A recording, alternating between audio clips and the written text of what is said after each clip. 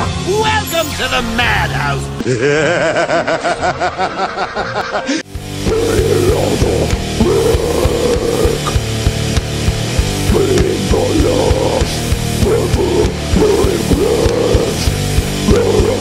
It's time to get your fucking horror on, live from their dumpy little studio in beautiful Norwalk, California. It's the Mindless Horror Podcast with Sammy and Anthony. Whoa, what is going on, ladies and gentlemen? we may sound a little bit more better. We got new equipment. Wait, is this new? This is new, Wait, this is fresh out of the box. fresh. Literally, I just I, s- I just assembled yours. Yes, you did. I just assembled it, Just assembled. and it looks. Avengers, yours actually looks better than mine. because. I I I did some cute stuff to it. Oh yeah. I just looked at it. What's going on, everybody? Welcome back to the Mindless Horror Podcast. Wherever you're listening, Spotify, Google Podcasts, all the other podcasts, Anchor, Old Faithful herself, YouTube. YouTube, where we originated. We're doing audio. Uh, this is our bye week of us not having a guest on this week. And the uh, bye week. Yeah, we'll, we'll come back with guests next week with Mr. Rick West himself. Sheck West? Just kidding. Rick West. I don't even know what that means. Like, what does that even mean? You, you were saying that as we were setting it up. Sheck West. He's a rapper. He created a song called Mo Bamba. Um, it was pretty lit. They were playing it on the radio for a little bit. It's about a basketball player. Yeah, I have no idea. Um, it's okay. I'm not that educated in that. Host, if Host Sway's listening, he'll understand. He probably will, So hopefully he's listening. but he's probably not listening. He doesn't give a shit.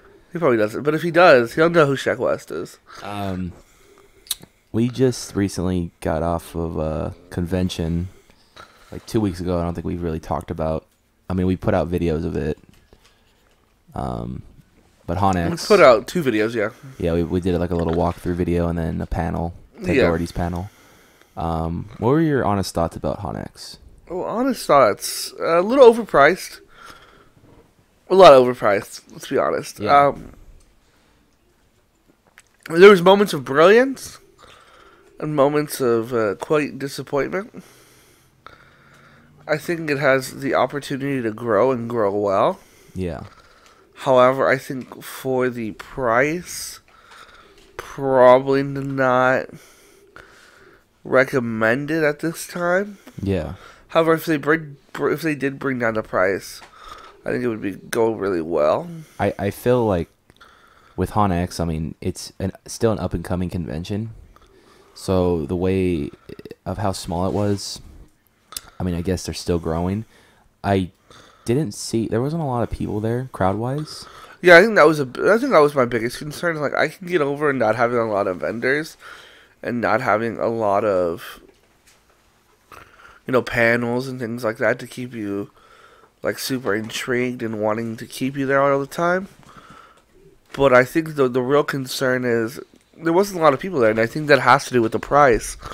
I think you know, so. it's a pretty steep price. I think it was like what we paid thirty five dollars, and we got the early entry thinking it was gonna be hella crowded. Yeah, And no, we- we, could have definitely got regular admission, Got there at eleven got there at eleven, and done it all. because we literally did it all in twenty minutes. Yeah, Um, but I mean, there was a lot of cool vendors there.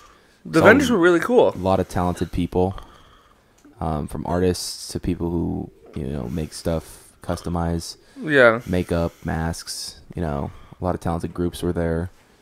Um, I mean, I bought a couple Funko Pops and some patches.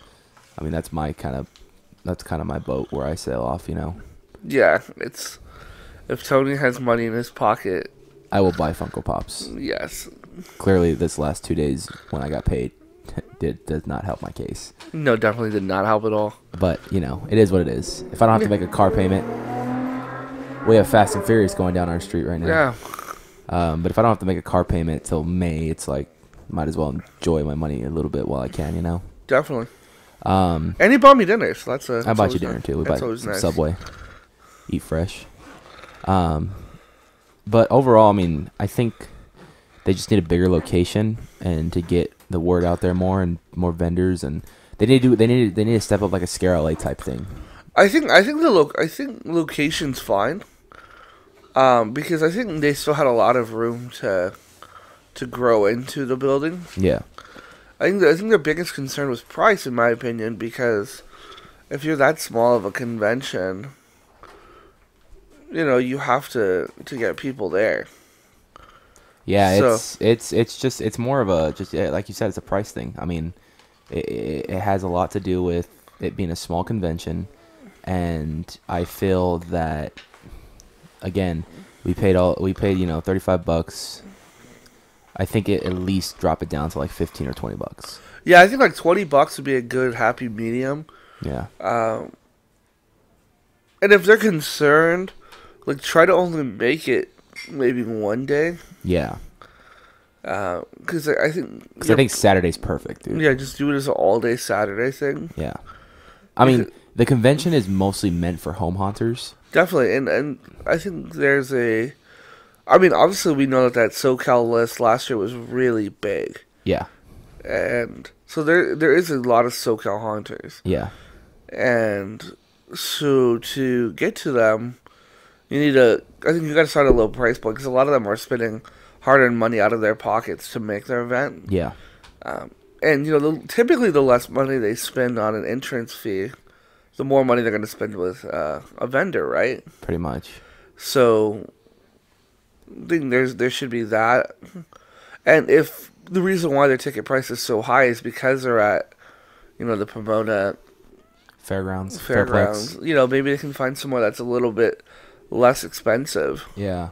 Because honestly, like you can this this honestly felt to me like Frankenstein's, Yeah, um, where it was just kind of going up and down aisles and looking at stuff, and then there was panels, which of course at Frankenstein's they don't do, but I mean the panels were, I mean I think there was two that really interest us, which was we saw one and we couldn't stay for the other because we just had to leave, yeah, and um, that was of course Ted Doherty's story and then the Bloodshed Brothers, yeah. uh, which I hope goes on YouTube, or if it is already on YouTube, um, I have not seen it yet, but I would love to see and hear what they said. But um, yeah, I mean, I I think it's more just based on having to expand and and just kind of grow. And I think the way you start with that is lowering the price, and yeah, then lowering the price and making it a single day. making it a single day. Yeah, because like Midsummer, I think is doing great because what its location. Um, But the thing with Midsummer too is like once they branched off the Scare LA team, yeah, and they started their own company and you know their own event. It, yeah, it started as two days, and it was a smaller convention, and then every year it grew, it got bigger. This year is a prime example of that. Yeah, they moved to three days. Yeah, just for the sole purpose of people like me and you who film all the panels, uh, go through uh, and conduct interviews with the home haunters, and are just busy, you know, supporting friends, supporting different things. And I feel with um, with Midsummer, they they added that third day just for you can walk the show floor and just check everything out. Yeah, definitely. And I, I really kind of hope that they're not going to be. Maybe they'll do a panel or two on that night. But I'd really love it to be more like let's get people buying pro. Let's get people buying stuff. Um, let's get people going through the Hall of Shadows. Uh, Well, that's and that's that's another thing I want to talk about. So Hall of Shadows, usually those guys come in like Wednesday, Thursday, and they set up for Saturday. Are they going to allow them to come in even earlier now because of that? I, I'm imagining they're letting them still come in Wednesday or Thursday, and I'm imagining that it's going to take them all day Friday because I think they're only open Friday evening. from Yeah. what I understand about Midsummer. Because the the reason why I bring that up is because you know every haunt in the Hall of Shadows, of course, is unique in its own way. yeah, of course. And you know, there's some that are really short that just want to give you a little preview of it. so Just a little little tidbit. but there's some that are actually pretty long and Yeah. so i'm i'm, I'm speaking more on, on terms of the longer ones or even the shorter ones too because it depends how much detail they put into these Yeah. things that how long will it take a typical home haunter to set it up preview wise is he gonna need two or three days is he gonna I mean, is he going to be ready by Friday? Or I, I don't know how that's going to work out with Hall of Shadows at least this year. I, I imagine it will be open on Friday, just so they can kick off the event with everything open. But I can I can also see if they were to do it Saturday, I mean, it would make sense too. You know what I mean?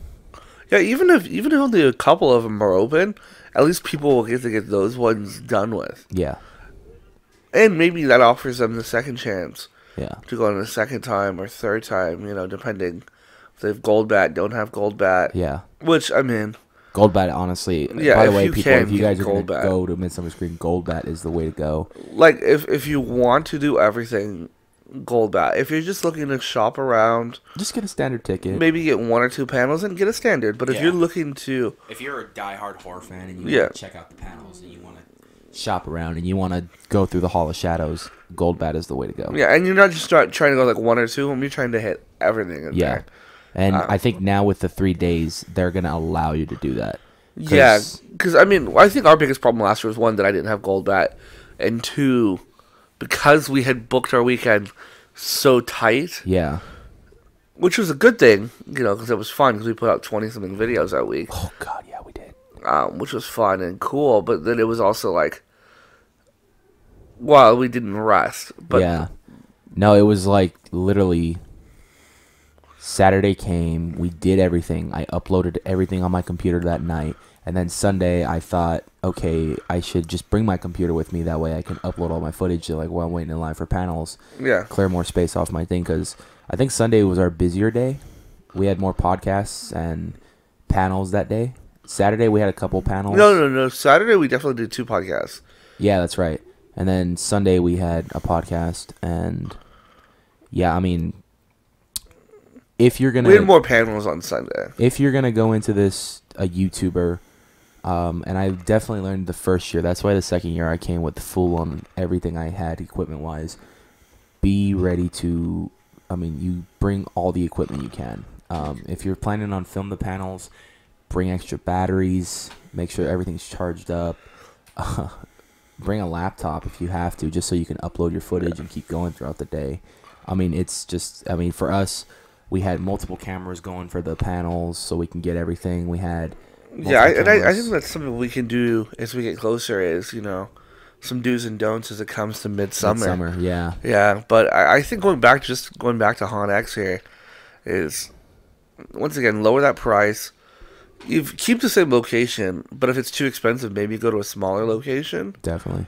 Uh, and you know, just I think there needs to be more advertising because Yeah, I, feel think like everyone hears about Monsterpalooza, midsummer. Midsummer, Son of Monsterpalooza. Yeah, They were hearing about Scare LA and well, obviously I that remember, I remember But last year when we had Jackie on the podcast for the first time, she she mentioned Haunt X to us. I was like, I've never even heard of Haunt X. yeah, I, and, uh, from my understanding, it may have only been its second year. Yeah, because I know it was up north, I believe, and they brought it down here. Yeah, Um, so and I uh, think it was cool because like you know there was some really cool people there. Like Decade was there. Decade was There there. was that ballerina group that looked pretty cool. yeah, we met really up- cool vendors. uh, there's that one group, I- and I forget their name, um, but I have their name on my sticker. But remember, we went up. They they were a, a The one that gave you a shot. a shot. Yeah, Yeah. they were cool. Um, no, there was a lot of cool people there. They had Jason Voorhees walking around. Yeah, cosplay, and even Myers. you know, I think because they had so much room in the back, they could have done some other panels or maybe expanded Yeah. the panels. 'Cause I know, like when we went to Ted's, like we got a seat obviously, but there was a group, there was a lot of people in the back. a lot of people in the back that we just had to stand. Which I'm glad we got our seats because the way I had my shit set up, it was like perfect. Yeah, it was pretty cool. So Link and the Um, link will be somewhere. Yeah. So that raises the next question as to what's next for us. So the next major event for us will be Monsterpalooza. Yeah, Um, I I'm not uh, off the top of my head. I can't. Oh, maybe March Madness at Knott's, but that that's depends. uh, it's coming up this weekend. Is it this weekend? Yeah, Shit, it's Saturday. That's right. Oh, oh. Well, actually, if this, yeah, that's this weekend. yeah. this 'cause this podcast is this is today. We're filming on. on a Saturday. Well, we're technically filming on Sunday, yeah, uh, March 11th at 12:48 March a.m. first, not eleventh. Uh, yeah, I don't know why I said 11. Oh, because the lightsaber's in the way, and I'm kind of tired. So I mean, It's 12:48 a.m. maybe, maybe um, March Madness for us if we can snag a couple free tickets. Um, that will be so. Yeah, that's maybe what we'll be doing Saturday actually, That's maybe what we do. and then hitting. Or is it Sunday? It's Saturday, Sunday. I don't know. We gotta double check. We'll talk to Jackie and Ruth and all them tomorrow. We'll find out tomorrow. Yeah. Um, uh, my cousin Andrew will be having a art exhibit at the Westminster Mall um, Saturday as well. So if you guys want to go check out some cool art and a bunch of talented artists, I highly suggest it. My cousin, uh, if you guys don't know, does our a lot of our logos for the channel. Shoot the shit, uh, Mindless Horror Podcast, uh, the Benchwarmers logo. just to name a couple. Yeah. And um, he's uh, one of the best graphic design artists uh, and artists that um, I know. I mean, I know, and my family's very talented with art, and he's in the top three. I think. I think he's number. I would say he's like number two or three. He's like that good Yeah.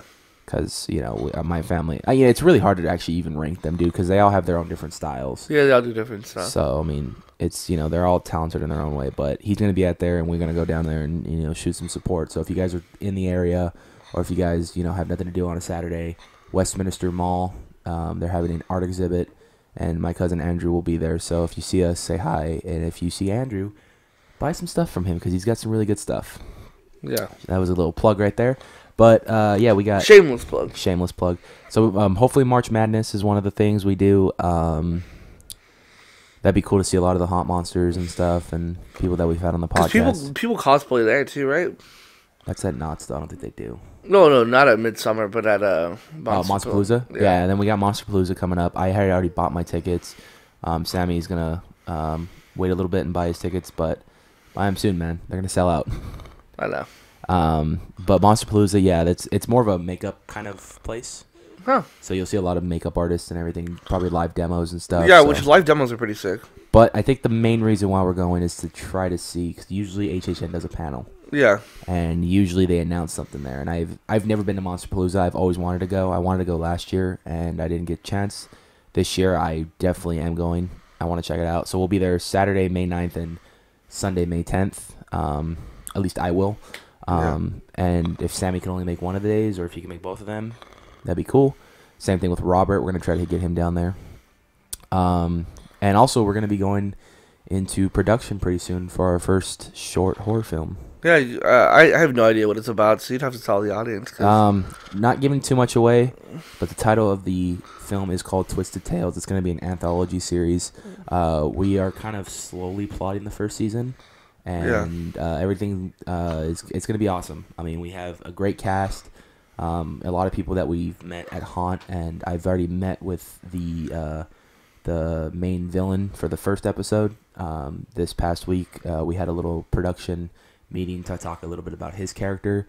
Um, when it comes closer to filming or stuff or whatever, we will release more, more info about it.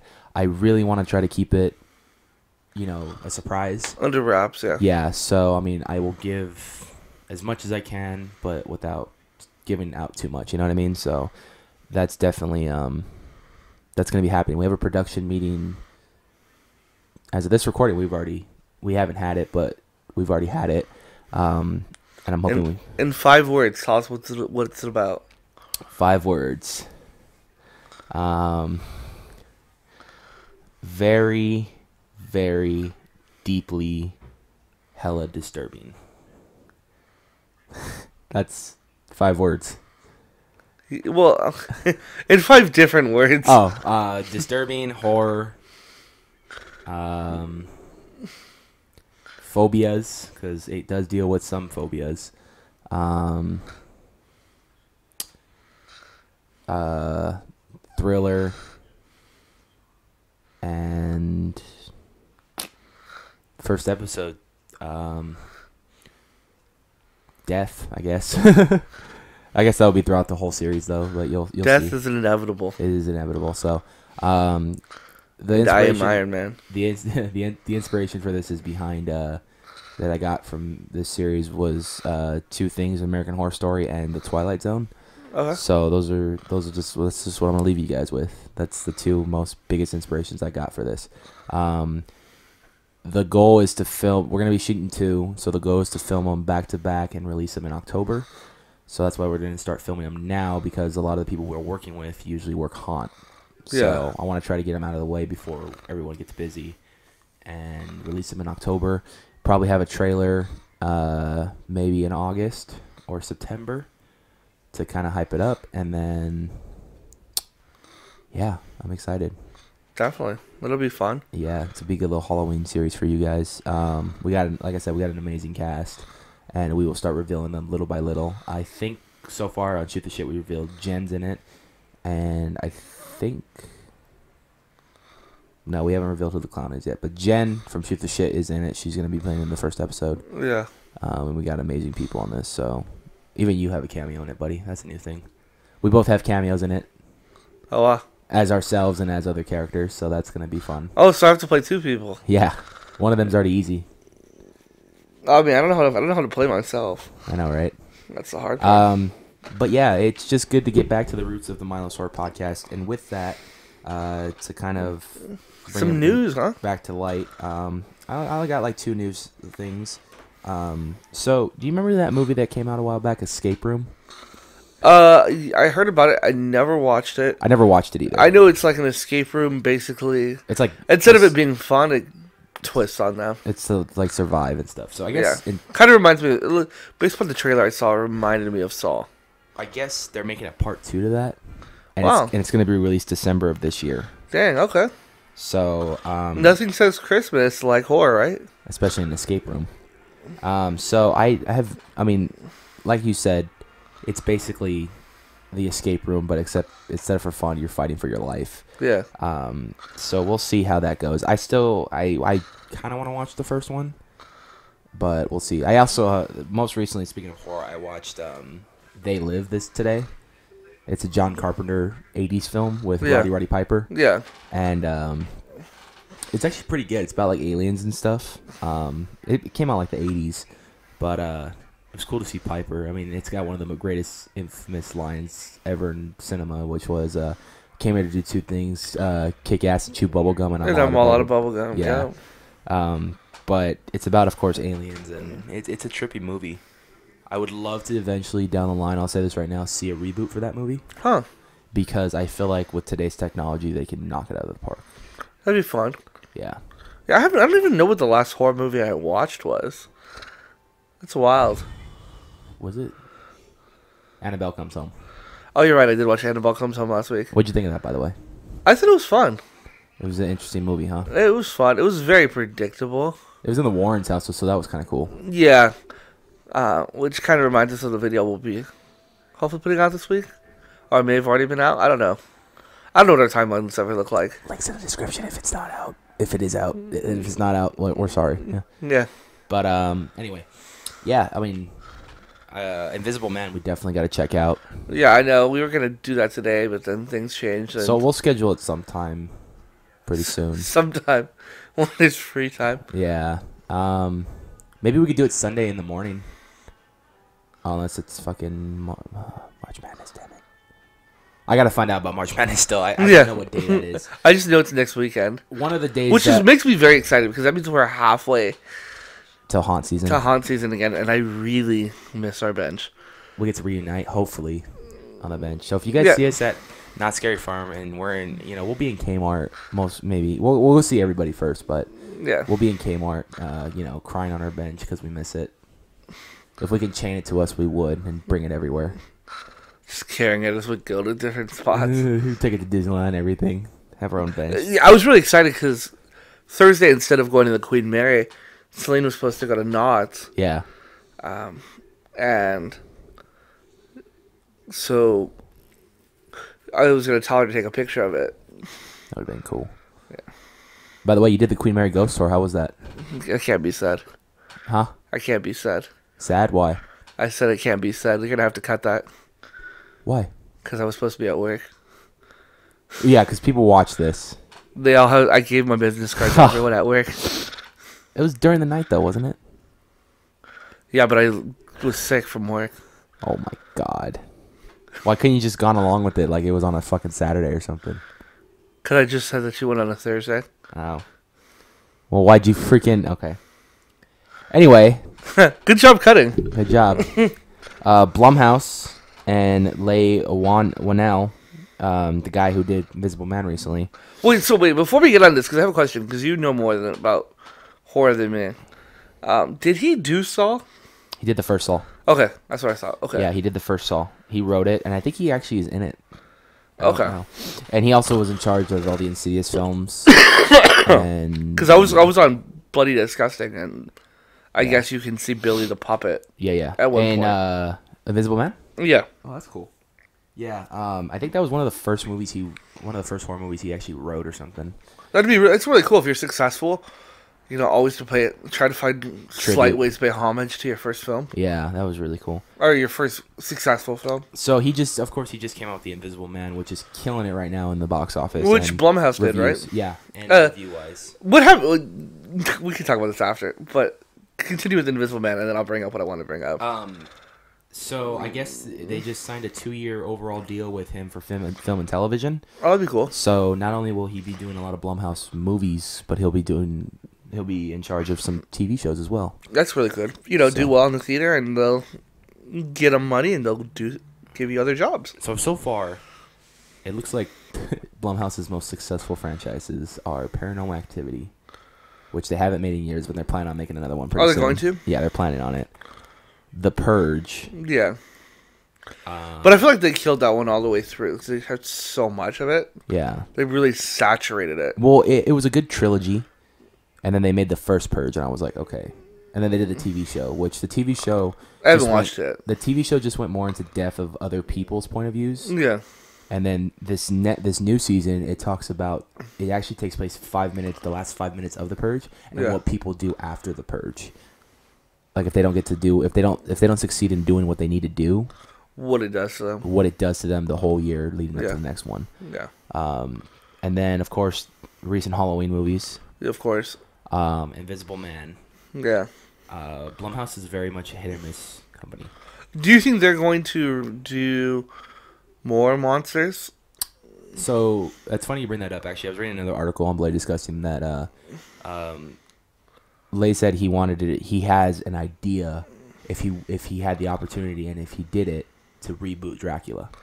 Oh, I thought you were gonna say creature, but Dracula would be cool. Yeah, Cause I feel like everyone does Dracula, I but feel like I feel like no one touches Creature because it's a, it's got a big fan base, and then Yeah. if they fuck it up, to but I feel like Dracula also has a really big fan base because like. Well, the all the original done. monsters do. because it's been done so much. Yeah. Like I feel like people don't really touch Frankenstein Yeah, as Frank- much. and Frankenstein's. creature. I feel like Frankenstein and Creature are the two hardest ones to do Yeah, because a lot of people want to know what the monster is going to look like, and same thing with the creature. yeah, Is he going to be CGI or is he going to be a man in a suit? yeah. And what the hell is he going to look like? You know what I mean? So Yeah. I think a lot of people are scared to touch him. The last time we got a creature reference of some sort was in the 2017 reboot of The Mummy with Tom Cruise. Yeah, And there's a scene in there where they're talking, I think, with, uh, I think it was Dr. Jekyll, I think. or- yeah, because they were trying to set up the whole. the whole dark Dark universe. universe, yeah. And there's one scene where you actually can see in a jar of water the creature's hand. Oh, So, yeah.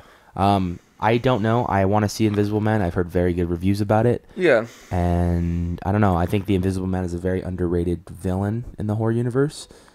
Um, he's pretty scary because you can't. no, see him. he is scary, but I think he's like, I think he gets overshadowed by the other like major ones. Yeah, you know. you know. So uh, I'm excited though. Well, we're gonna go try to see it sometime. Yeah. Um, But the other thing I wanted to bring up is another movie that Blumhouse did, and I have no idea how it did. So I'm curious if you know.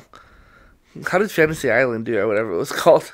it got shitty reviews. I oh I, I really felt like it was going to based on its trailer, but yeah, I mean, it was a reboot of a show that they did in like the 70s or 80s. oh, they did a show about it. I didn't know yeah, and um, I've seen so many bad reviews and everything about it.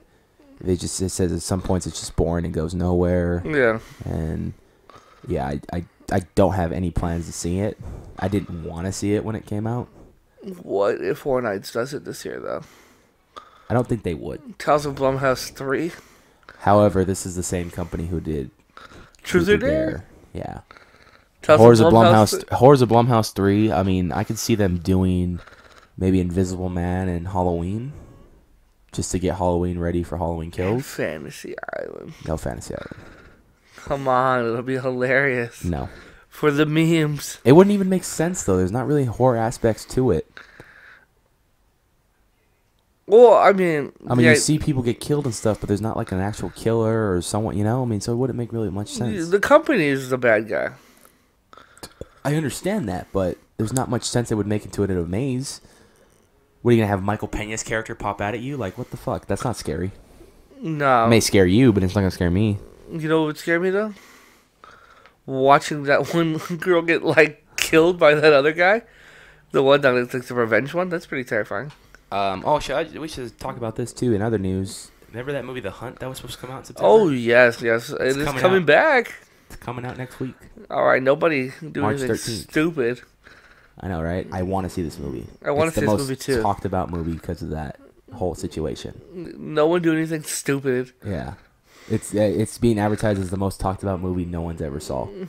Yeah, because No, well, the shooting happened. They were gonna release the movie. Then Universal pulled the plug on it. They're like, we don't even know if we're gonna release it now. yeah, there was gonna. they waited so many months, and they're like, we're gonna release it. And I was like, fine, because it had it actually looked good and it had a good cast. Yeah, it had a really good cast. So I was really much looking forward to seeing what this movie was gonna be about. Yeah, But a lot of people are like comparing it to like it's a bunch of like white, freaking um like neo Nazis fucking playing like you know killing games and stuff. I guess there's a book based off of this. Probably. I mean, everything's based off of something nowadays. Yeah. So, um, but that's about it for me. Yeah, I don't think I have anything either. All right, ladies and gentlemen, thank you for tuning in for the Mindless Sport podcast. I know this year, this week was an audio one because we were too lazy to set up cameras And it's late.